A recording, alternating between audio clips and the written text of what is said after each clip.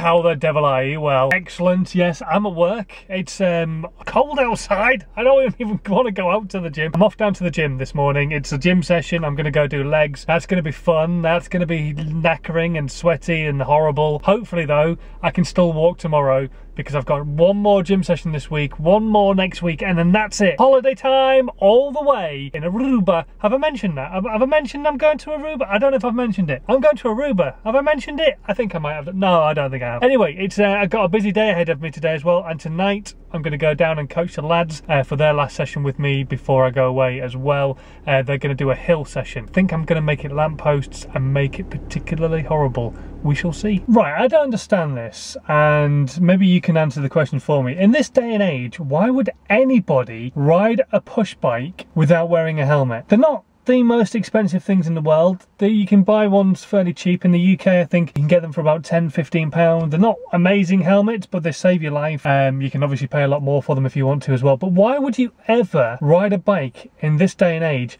without wearing a helmet? Not big, it's not clever. It's not safe. Why would you why would you risk your life when they are so cheap? I've just gone past two people riding home after their day's work with no helmet on. Now, they're probably going to get home safe and sound, but what if they do get knocked off their bikes? What if they do bang their heads? That's not going to end well.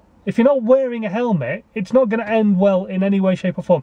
I know too many people who race bikes and ride bikes all the time, who've fallen off on a regular basis and been saved by their helmets. It's really important. If you ride your bike and you don't wear a helmet, more fool you, you are stupid. Get a helmet, stick it on your head, make sure you're still alive when you fall off your bike and you bang your head or whatever.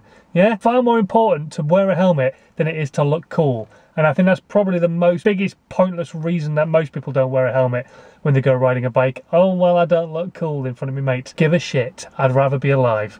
Get a helmet.